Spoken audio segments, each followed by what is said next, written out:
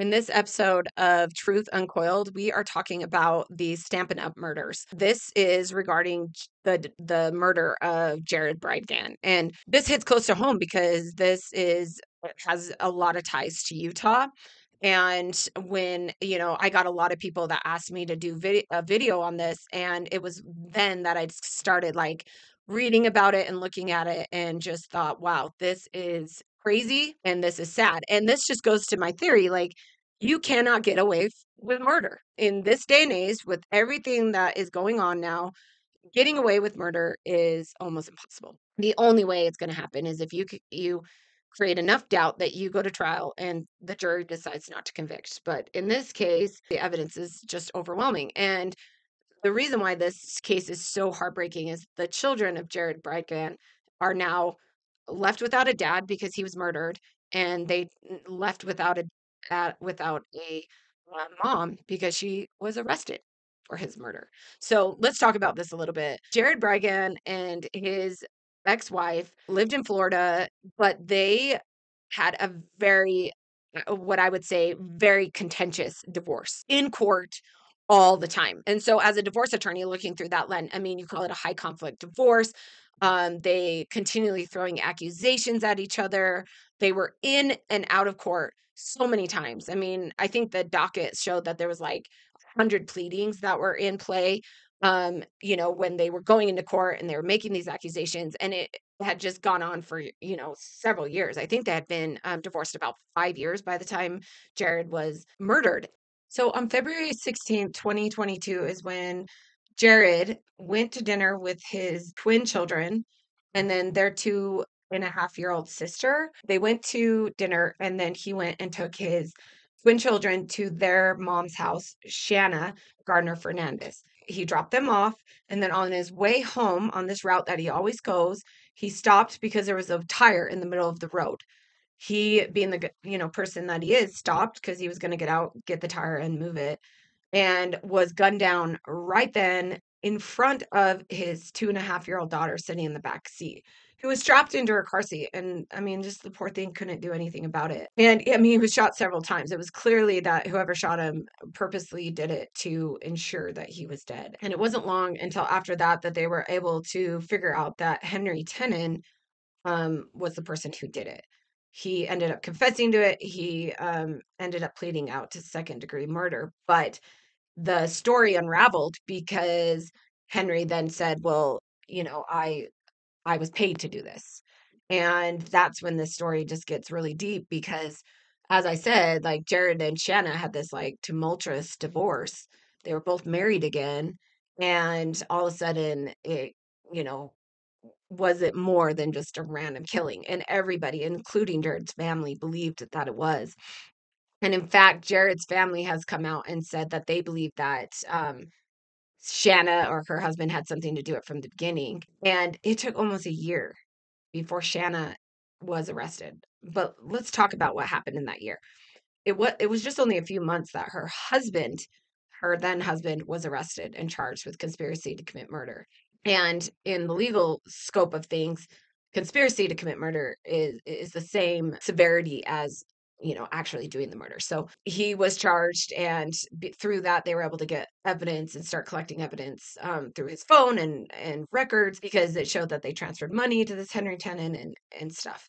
In the meantime this is where the stampin' up! connection is because shanna's parents here in utah own stampin' up! and stampin' up! is like this big company that got really big through the 2000s because scrapbooking was a big deal and, and they had a lot of money. And after her husband was arrested, they picked up Shanna and those two kids and they moved them to Washington. In the meantime, they cut off all contact with Shanna, those two kids from Jared Bridegan's um, family, like his parents, so grandma, grandpa, the new wife, so stepmom. That is an ongoing fight. And unfortunately, Jared's family doesn't have a lot of money. And so they don't have the money to fight this. And they moved to Washington. And in the meantime, they moved to Washington. The family didn't really think they had a leg to stand on because, you know, Shanna's the mom. She has the right to determine if who gets to see these children. And she was just denying it. But then it was like a year later that Shanna was finally implicated, indicted, and extradited back to Florida.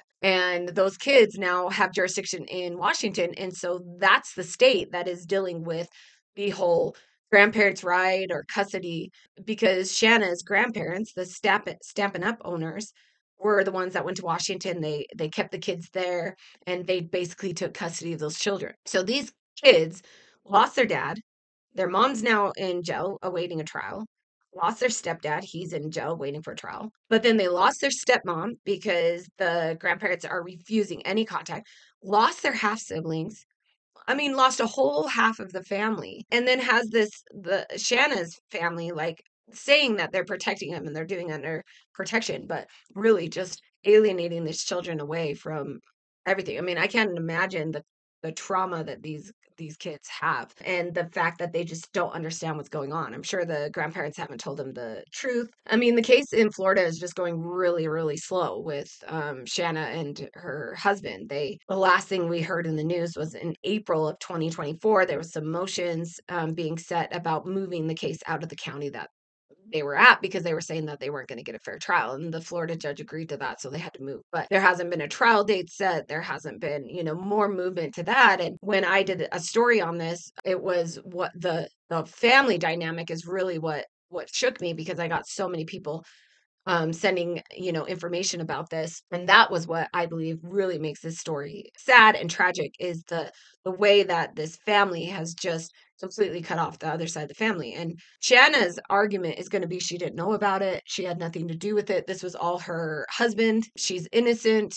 But you know there's a lot of um, evidence to show like all the payments to this henry tenon came from their joint bank account that Sh- shanna had access to. Her parents gave her money every month and it helped you know fight her legal fees and it helped continue to fight jared. I mean just she, she was very enabled and then you know these grandparents bought this house in washington and helped her flee so just a lot of information that came out about this situation that was more than what is being reported on the news. And obviously jared's family just wants um, justice for him and wants the people involved. Now the person that actually murdered him is in jail fled out to second degree will be in jail. He, he's older probably will never get out of prison um, but now it's gonna all eyes are turning now to what Shanna's husband and what her are going to get. And obviously her Jared's family just wholeheartedly believes that they were both in on it. And again, goes to the point that um, can you get away with murder? And in this situation, um, the evidence is pretty stark. It's pretty overwhelming to show that Shanna and her ex husband knew about it or should have known about it. I mean, that's going to be, I think, the prosecutor's argument is that even if Shannon did not know about it, she should have known about it. She there was a, overwhelming evidence to show that she should have known. She could have known. So um, her claiming I just didn't know is going to be a weak argument. At least that's in the prosecutors. They are both being charged with capital murder, and if convicted, you know it could be a big deal. So th- then the second story of what's going on with these kids, and obviously like they're in Washington. I know that the family is trying to figure out what to do.